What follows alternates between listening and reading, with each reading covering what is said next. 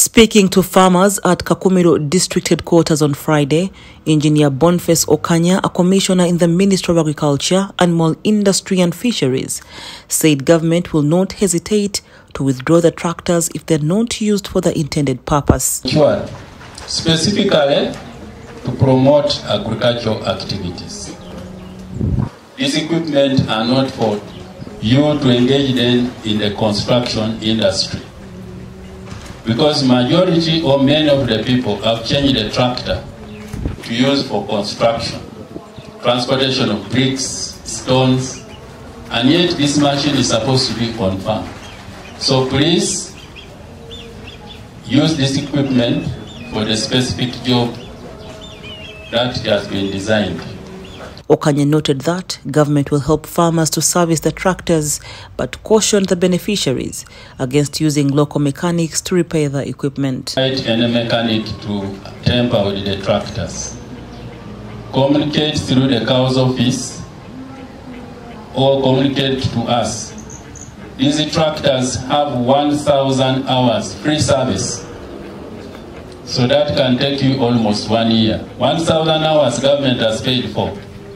Because we knew that if we gave you the tractor and the next one month you are supposed to service, you may not be able to afford it. So government deemed it necessary to provide 1,000 hours of free service to you. The Prime Minister, Robinah Nabbanja, said that distribution of the tractors is a fulfillment of the President's promise to the farmers. President of the Republic of Uganda on 8 December 2022 launched and handed over the assorted farm equipment and the machinery units to farmers to ease land opening, bush clearing, planting, weeding, and plowing.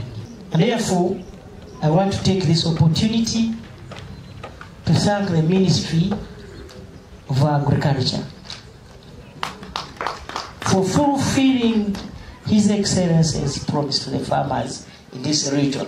Nabanja added that government has signed MOUs with farmers to ensure proper use of the equipment to increase production and productivity. bajikolesa ini brief bakwazikire. Tuli hamwe bakwazikire emyaka ebiri. Oragikoresa kurungi bagikwongera emingi egindi ebiri. Ogikoresa kubi bagikwiyo gikoresa government has trained and skilled all the tractor operators to maintain and operate these machines beneficiaries is that uh, we must sustainably use these equipment.